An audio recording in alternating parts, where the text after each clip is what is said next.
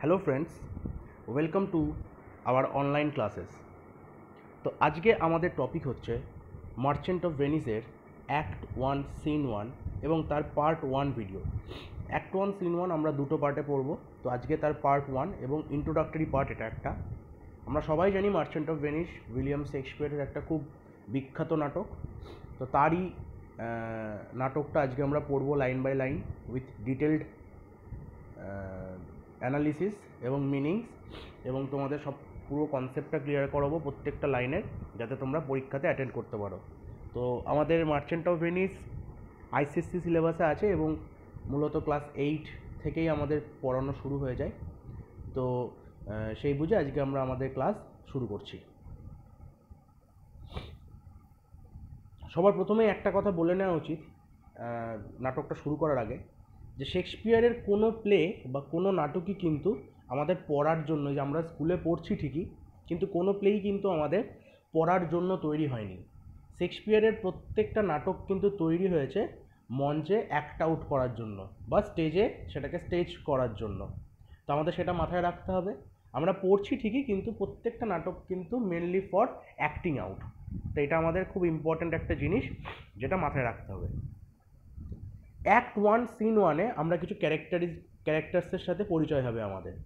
প্রথমেই পরিচয় হবে এই যে এখানে দেওয়া আছে অ্যান্টোনিও স্যালারিনিও এখানে স্যালারিও দেওয়া আছে, আবার অনেক বইতে দেওয়া থাকে স্যালারিনো ঠিক আছে? দুটোই থাকে স্যালারিও থাকে, আবার স্যালারিনোও থাকে স্যালারিনো তাহলে আমরা স্যালারিনোটাও মনে রাখব স্যালারিওটা মনে থাকব বিভিন্ন বইতে বিভিন্ন রকম নাম দেওয়া থাকে। তাহলে অ্যান্টোনিও একটা ক্যারেক্টারের সাথে আমাদের পরিচয় হবে। স্যালারিনো স্যালারিনো বলে একটা ক্যারেক্টারের সাথে পরিচয় হবে। স্যালানিও বলে একটা ক্যারেক্টারের সাথে পরিচয় হবে। আরও দুটো ক্যারেক্টারের সাথে পরিচয় হবে। সেটা হচ্ছে ব্যাসানিও ব্যাসানিও, আর একটা হচ্ছে গ্র্যাসিয়ানো। গ্র্যাসিয়ানো। টোটাল আমরা কিন্তু পাঁচটা ক্যারেক্টারের সাথে পরিচয় হবে। সেটা হচ্ছে অ্যান্টোনিও, স্যালারিনো যেটা এখানে স্যালারিও লেখা আছে, আমি স্যালারিও বলছি যাতে তোমরা বুঝতে পারো। আর একটা হচ্ছে স্যালানিও। তাহলে টোটাল পাঁচটা ক্যারেক্টারের সাথে আমাদের এখানে পরিচয় হবে। তো মূলত এই যে একটা আছে বা প্রথম যে অ্যাক্ট ওয়ান সিন ওয়ানটা আমাদের শুরু হচ্ছে, তাতে সবথেকে যেটা ইম্পর্টেন্ট ক্যারেক্টার সেটা হলো অ্যান্টোনিও। অ্যান্টোনিওকে অ্যান্টোনিও হচ্ছে একজন মার্চেন্ট বা বিজনেসম্যান তোমরা ধরতে পারো। কোথাকার মার্চেন্ট অবশ্যই যেটা আমাদের টাইটেল মার্চেন্ট অফ ভেনিস ভেনিসের একজন মার্চেন্ট। এবং ভেনিস কোথায় অবস্থিত? ইউরোপে। তাহলে এই কটা ডেটা কিন্তু আমাদের মনে রাখতে হবে যে অ্যান্টোনিও একজন মার্চেন্ট, যে কিনা ভেনিসের একজন মার্চেন্ট এবং ভেনিস কোথায় অবস্থিত? ইউরোপে। এবং আমরা প্রথম থেকেই দেখতে পাচ্ছি যে অ্যান্টোনিও বলে এই ভদ্রলোক কিন্তু সবসময় স্যাড থাকতেন। ঠিক আছে? এবং কেন স্যাড আছে? এই প্রশ্ন জিজ্ঞাসা করার জন্যই বা কেন স্যাড আছে এটা জানার জন্যই কিন্তু তার যে বন্ধুরা মানে স্যালারিও স্যালানিনো তারপরে হচ্ছে ব্যাসানিও গ্র্যাসিয়ানো যে কটা নাম আমি তোমাদের বললাম, এই ক্যারেক্টার্সগুলো অ্যান্টোনিওর কাছ থেকে জানতে চায় যে সে কেন স্যাড। এবং সেই কেন স্যাড জানার জন্যই কিন্তু আমাদের প্রথম সিনটা একটা ইন্ট্রোডাক্টরি সিন বোঝা গেল? আর সিনটা কিন্তু শুরু হচ্ছে সেটিংটা হচ্ছে স্ট্রিট অফ ভেনিস ভেনিসের কোনো একটা স্ট্রিটে তাহলে ভেনিসের স্ট্রিটসে কিন্তু এটা সবাই মিট করছে। মিট করে অ্যান্টোনিও অ্যান্টোনিওর কাছে জানতে চাইছে যে সে কেন স্যাড আর একটা জিনিস বলে রাখি শেষ শুরু করার আগে, যে অ্যান্টোনিও এখানে যে মার্চেন্ট এবং সে যে একটা বিজনেসম্যান তার তার বিজনেসটা কিন্তু ট্রেডিংয়ের বিজনেস কীরকম ট্রেডিং ইম্পোর্ট অ্যান্ড এক্সপোর্টের বিজনেস তখনকার দিনে আমরা জানতাম যে ইম্পোর্ট আর এক্সপোর্ট করা হতো বিভিন্ন আইটেমস এবং তখন নিশ্চয়ই যাহা ইয়ে ছিল না, আমাদের এরোপ্লেনস ছিল না বা এখন যতটা ইজি হয়ে গেছে, তখন কিন্তু প্রত্যেক ইম্পোর্ট এবং এক্সপোর্টের যে বিজনেসটা চা হতো, সেটা কিন্তু সিয়ের মাধ্যমে বা শিপের মাধ্যমে হতো, জাহাজের মাধ্যমে কিন্তু হতো। এখানে অ্যান্টোনিও কিন্তু খুব রিচ একজন বিজনেসম্যান বা খুব রিচ একজন মার্চেন্ট এবং ধরে ধরে নেওয়া যায় ভেনিসের one of the richest man এবং তার যে মেন বিজনেস সেটা কিন্তু ট্রেডিংয়ের বিজনেস ইম্পোর্ট এক্সপোর্টের বিজনেস তাহলে এই ইনফরমেশানসগুলো আমাদের রাখতে হবে। তাহলে আমরা লাইন বাই লাইন এটাকে পড়ব। একদম প্রথম লাইনেই দেখো অ্যান্টোনিও তার ডায়লগ শুরু করছে। বলছে in sooth I know not why I am sad in sooth কথাটার অর্থ হচ্ছে ট্রুলি কিছু কিছু অর্থ আমি বলে দেবো, সেগুলো একটু মাথায় রাখবে। তো অ্যান্টনিও এখানে বলছে যে truly I know not why I am sad তো বলছে, আমি সত্যি করে জানি না যে আমি কেন স্যাড মানে সে যে স্যাড আমি এক্ষুনি বললাম যে অ্যান্টোনিও যে কেন সবসময় স্যাড থাকে, সে নিজেও জানে না। It wearies me you say it wearies you তো বলছে, আমি এই যে স্যাড থাকি সবসময়, এটা আমাকে সবসময় চিন্তিত করে দেয় যে আমি কেন স্যাড আর তোমরা বলছো, আমি স্যাড আছি বলে তোমরাও স্যাড কাদেরকে বলছে? তার বন্ধুদের বলছে, যে বন্ধুরা তার সাথে তাকে জিজ্ঞাসা করতে এসছে যে কেন স্যাড তাহলে অ্যান্টনিও বলছে, এই যে আমার স্যাড থাকা ইট ওয়ার ইজ মি আমাকে চিন্তিত করে। এবং তোমরা বলছো যে আমি স্যাড আছি বলে তোমরাও চিন্তিত। এবার বলছে but how I caught it found it or came by it what stuff it is made of whereof it is born I am to learn তাহলে এখানে বলছে but how I caught it found it or came by it বলছে কিন্তু এই যে স্যাডনেসটা এই যে আমি স্যাড হয়ে থাকি সবসময়, এটা যে কেন হলো, যে আমার, আমি যে কেন স্যাড বা এটা যে কোথা থেকে এলো বা কেন আমার মধ্যে এই স্যাডনেসটা গ্রো করল, এটা কিন্তু আমিও জানি না। আই অ্যাম টু লার্ন মানে আমি এখনও তার রিজনটা কিন্তু বার করতে অক্ষম। মানে আমি কিন্তু এখনও সেই রিজনটা বার করে উঠতে পারিনি যে হোয়াই আই অ্যাম স্যাড তারপরে কি বলছে? And such a want wit sadness makes of me that I have much ado to know myself এবং বলছে যে and such a want wit sadness want wit sadness মানে যে স্যাডনেসের কোনো রিজন আমরা খুঁজে পাই না। এবং মাঝে মাঝে মানে অ্যান্টোনিও বলছে যে, এই স্যাডনেসটা কিন্তু আমাকে ফিল করায় যে আমি একটা ফুল এবং বোকার মতো কিন্তু আমি স্যাড হয়ে থাকি এবং মাঝে মাঝে নিজেকেই নিজে চিনতে পারি না। And that I have much ado to know myself এবং এই স্যাডনেসের জন্য আমার কিন্তু মাঝে মাঝে মনে হয় যে, আমি হয়তো নিজেকেই নিজে ঠিকঠাক চিনি না। না হলে আমি কেন স্যাড আমার স্যাডনেসের তো একটা রিজন থাকবে। সেই রিজনটা কিন্তু আমি জানি না। এবং জানি না বলেই আমি আমি মনে করি যে আমি হয়তো নিজেকে চিনতে পারি না। দেখো ফ্রেন্ডস এইখানে শেক্সপিয়ার কিন্তু একটা মেসেজ দিয়েছে। এই যে যত বড় বড় বিজনেসম্যানরা আছে বা যারা আর্থিকভাবে খুব সচ্ছল বা যারা জীবনে খুব সাকসেসফুল বা জীবনে খুব বড় মানুষ, বড় বিজনেসম্যান বড় ওয়েলদি কোনো লোক তাদের জীবনে তারা হয়তো পুরো পৃথিবীটাকে খুব ভালো করে চিনেছে, তারা অনেক কিছু জানে, তাদের অনেক অর্থ আছে, কিন্তু at the end of the day অনেকে অনেকে এমনও আছে যে তারা হয়তো নিজেদেরই চিনতে পারে না।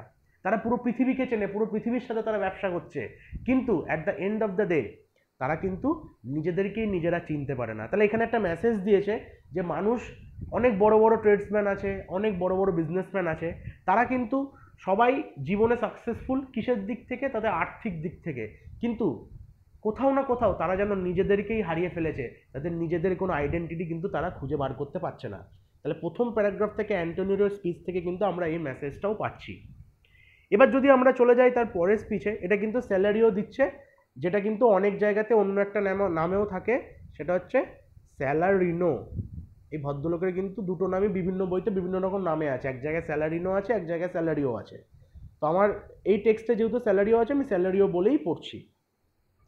স্যালারিও বলছে your mind is tossing on the ocean তো বলছে যে যেহেতু স্যালারিও তার বন্ধু হয় অ্যান্টোনিওকে এবং অ্যান্টোনিও সবসময় স্যাড থাকে, তো স্যালারিও বলছে যে, তোমার মনটা সবসময় কিন্তু সমুদ্রে পড়ে আছে। কেন সমুদ্রে পড়ে আছে? তার বিজনেসটা তো পুরোটাই সমুদ্রের থ্রুতে হচ্ছে। সমুদ্রতে তার অনেক জাহাজ কিন্তু অনবরত জিনিসপত্র আদান প্রদান করছে ইম্পোর্ট এক্সপোর্ট করছে। তাহলে স্যালারিও আশঙ্কা করছে যে অ্যান্টোনিও কেন স্যাড অ্যান্টোনিও স্যাড কারণ তার মনটা কিন্তু পড়ে আছে ওই ওশানে বা সাগরে, যেখানে তার জাহাজরা কিন্তু তার বিজনেসটাকে এগিয়ে নিয়ে চলেছে। There where your argosies with portly sail like signiors and rich burghers on the flood তো বলছে there where your argosies with portly sail এখানে আর্গোসিস কথাটার অর্থ হচ্ছে শিপ এই যে রিচ যে শিপগুলো আছে, জাহাজগুলো আছে, এই জাহাজগুলো কিন্তু, এবার স্যালারিও বলছে যে তোমার মনটা পড়ে আছে ওই ওশানে যেখানে, এই যে দেয়ার হোয়ার যেখানে তোমার শিপসগুলো কিন্তু সেল করছে মানে তোমার জাহাজগুলো কিন্তু সেল করে করে যাচ্ছে। এবং কেমন যাচ্ছে? এখানে আর একটা জিনিস পটলি সেল মানে কিন্তু ওই সেল মানে পাল তুলে, পাল তোলার যে নৌকাগুলো হয় মানে আমরা জানি বড় বড় আগেকার দিনের জাহাজে কিন্তু বড় বড় পাল থাকতো সেলস বলা হয়, এবং উইন্ডের ডিরেকশনে কিন্তু প্রত্যেকটা জাহাজ এগোতো।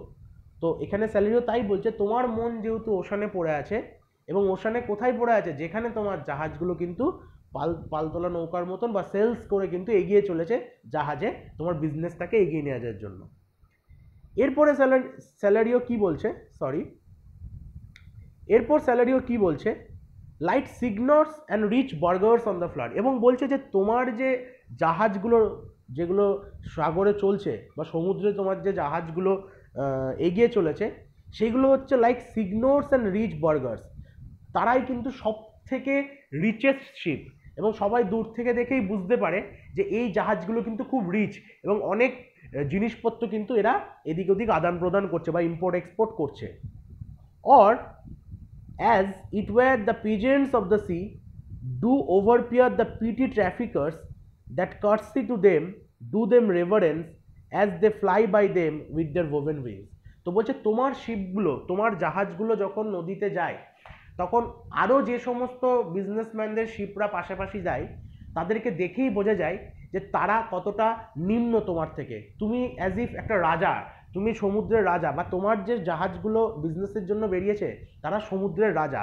এবং যখন তোমার এই রিচ শিপগুলো এই ওয়েলদি শিপগুলো নদী দিয়ে যাচ্ছে আমাদের সাগর দিয়ে যাচ্ছে, তখন তার চারিপাশের যে ছোট ছোট শিপগুলো আছে, সেগুলো কিন্তু দেখেই বুঝতে পারে যে এইটা অ্যান্টোনিওর শিপ এবং খুব রিচ একটা শিপ এবং অ্যাজ ইফ তোমাকে জায়গা করে দেয় এগিয়ে যাওয়ার জন্য এবং তারা মাথা নিচু করে তোমাকে সেলাম ঠোকে, যে যে আমাদের রাজা যাচ্ছে। মানে এখানে বলতে চাইছে স্যালারিও যে, তুমি এত বড় একটা বিজনেসম্যান তোমার শিপ শিপগুলো এত রিচ এত ওয়েলদি অন্যান্য শিপগুলো কিন্তু তোমার শিপের কাছে মনে হয় যেন ক্ষুদ্র, কোনো ভ্যালুই নেই। এবং তারা যেন তোমাকে সমুদ্রতে জায়গা করে দেয় আগে যাওয়ার জন্য, তোমার শিপ বা তোমার বিজনেসটা এতটাই ওয়েলদি স্যালারিও কিন্তু এই কথাটা এখানে বলতে চাইলো। এখানে কিছু মানে যেগুলো আমাদের জানতে হবে, সবার প্রথমে যেটা আছে ওভার পিয়ার ওভার পিয়ার মানে হচ্ছে look down upon look down upon কেন এই কথাটা ইউজ করেছেন? লুক ডাউন আপন মানে বলছে তোমার জাহাজ এত বড়, এত রাজকীয় একটা অ্যাপিয়ারেন্স অ্যাজ ইফ তোমার জাহাজ এবং অন্যদের থেকে হাইটও বড় এবং তার ওয়েলথনেসও বড়, তাই তারা তোমার জাহাজ, কিন্তু ছোটো ছোটো যে পাশাপাশি যে শিপসগুলো আছে, তাদের দিকে মাথা নিচু করে তাকাচ্ছে, দেখছে যে তো তারা কত ছোট আমার থেকে।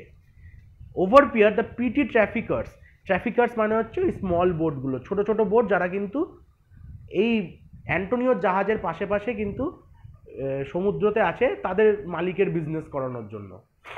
And curtsy to them do them reverence R woven wings মানে কিন্তু সেলস ঠিক আছে? তাহলে এই কটা মানে কিন্তু আমাদের মনে রাখতে হবে।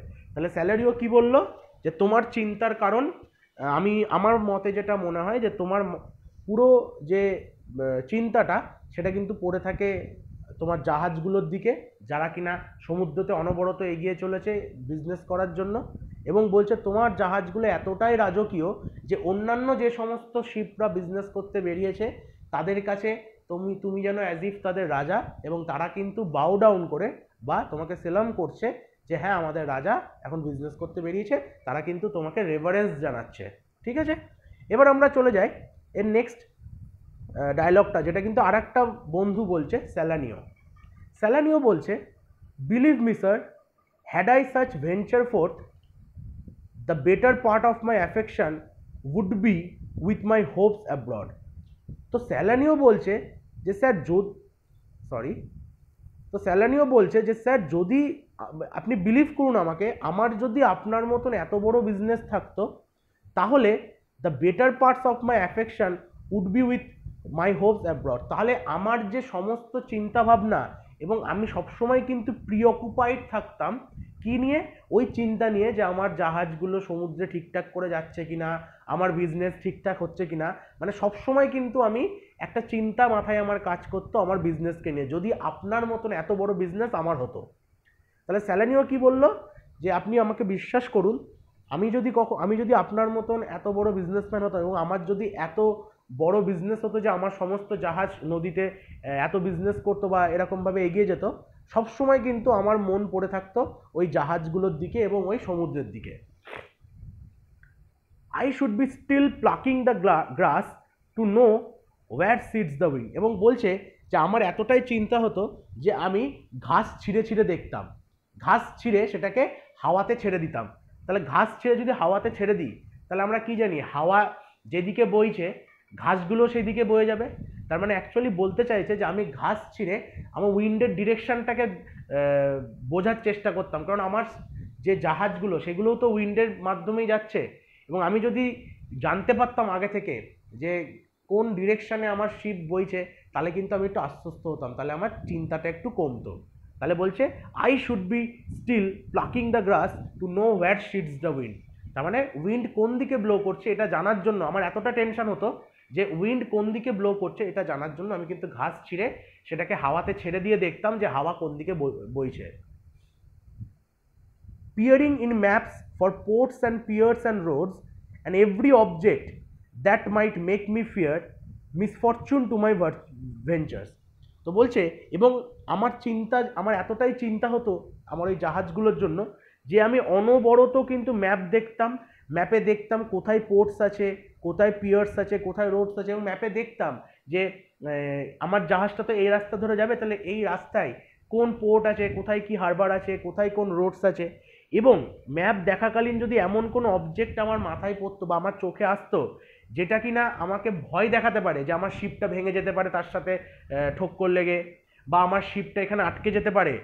Misfortune to my venture out of doubt তখন কি হতো? Out of doubt would make me sad পরের স্লাইডটাই চলে যাই আমরা। জুম করে দিচ্ছি হ্যাঁ। উড মেক মি স্যাড তো বলছে, যদি এই ম্যাপ যখন আমরা দেখব সরি এই ম্যাপ দেখাকালীন যদি এমন কোনো অবজেক্ট আমার নজরে আসতো, যে অবজেক্টটা আমার শিপের জন্য বা আমার যাত্রাপথে বাধা হয়ে দাঁড়াতে পারে, তখন কিন্তু আমার চিন্তা আরও বাড়তো এবং সেই চিন্তা থেকে কিন্তু it would make me sad আমি কিন্তু আরও বেশি স্যাড হয়ে যেতাম। তাহলে স্যালানিও কি বলছে? স্যালানিও বলছে যে আপনি যে স্যাড তার একটা কারণ কিন্তু আপনার বিজনেস আমাদের মতে। কাদের মতে? ওই যে বন্ধুরা ওর কাছ থেকে জানতে চেয়েছিল যে কেন স্যাড উনি? তাহলে এটা কিন্তু স্যালানিও একটা নিজের বক্তব্য পেশ করল। এবার এই শুনে ওই যে একদম প্রথমে স্যালারিনো বা স্যালারিও যার বললাম যে দু জায়গায় দু রকম নাম থাকে, সে কিন্তু আবার একটা ডায়লগ বলছে।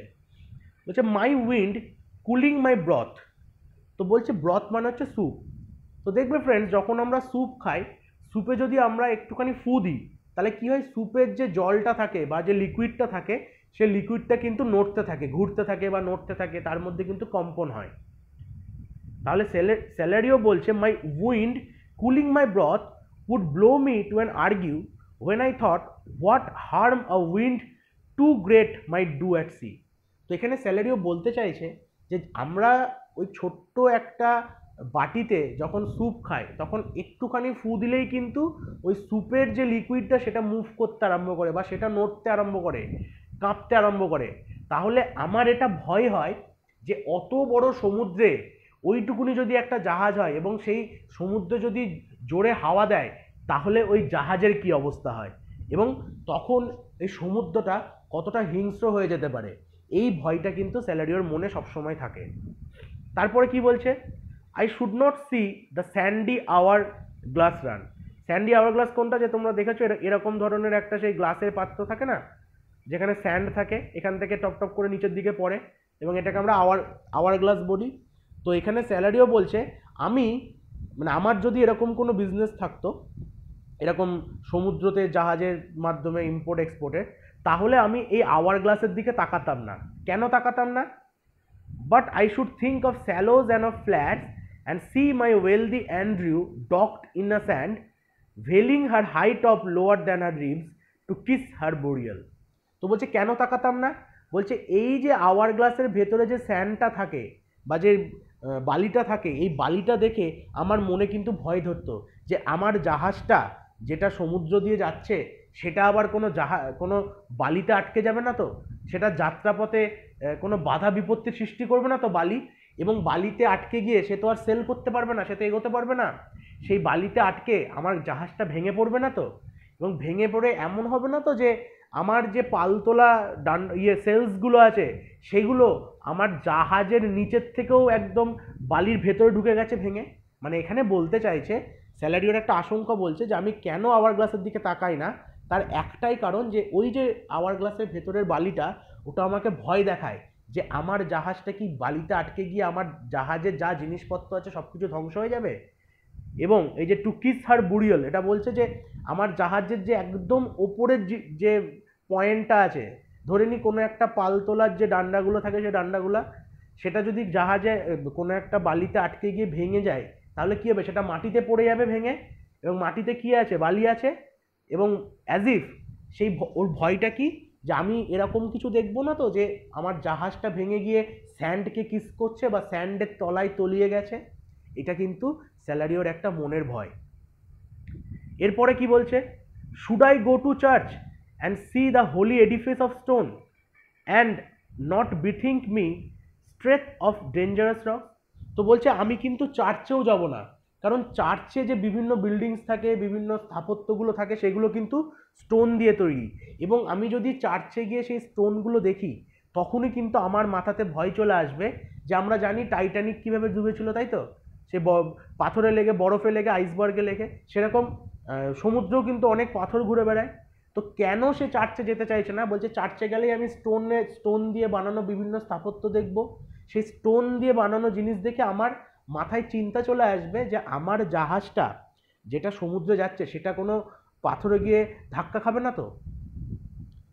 Which touching but my gentle vessel side would scatter all her spices on the stream, enrobe the roaring waters with my silk, and in a word, but even now worth this and not worth nothing তো বলছে, এরকম হবে না তো যে আমার জাহাজটা কোনো একটা পাথরের সাথে ধাক্কা লেগে ভেঙে যাবে এবং জাহাজের ভেতর যে সিল্ক বা যে সমস্ত স্পাইসেসগুলো আমি ইম্পোর্ট এক্সপোর্ট করছি, আমরা জানি যে আগেকার দিনে কিন্তু স্পাইস এবং সিল্কের প্রচণ্ড দাম ছিল এবং মেনলি এইগুলোই ইম্পোর্ট এক্সপোর্ট করা হতো। তো বলছে, যদি কোনো পাথরের সাথে ধাক্কা লেগে আমার জাহাজটা ভেঙে যায়, তাহলে আমার জাহাজের ভেতরে যে স্পাইসেস আর যে সিল্কটা সিল্কগুলো আছে, সেগুলো কি হবে?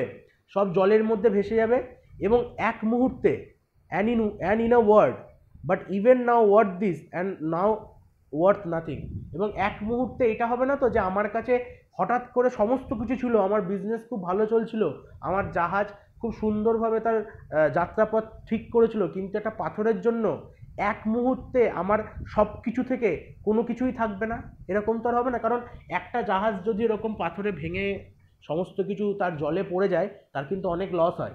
এবং সেই লসটা কিন্তু একটা মার্চেন্টকে ভিকারিও করে দিতে পারে।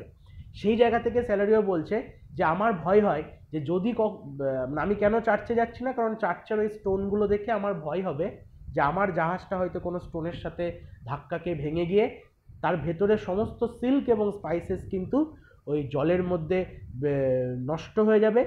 এবং এক মুহূর্তে কিন্তু আমি একটা ওয়েলদি বিজনেসম্যান থেকে কিন্তু পভার্টি লেভেলে চলে যাব মানে আমার সব কিছু আছে এই অবস্থা থেকে আমার কিছুই নেই এই অবস্থায় পৌঁছে যাব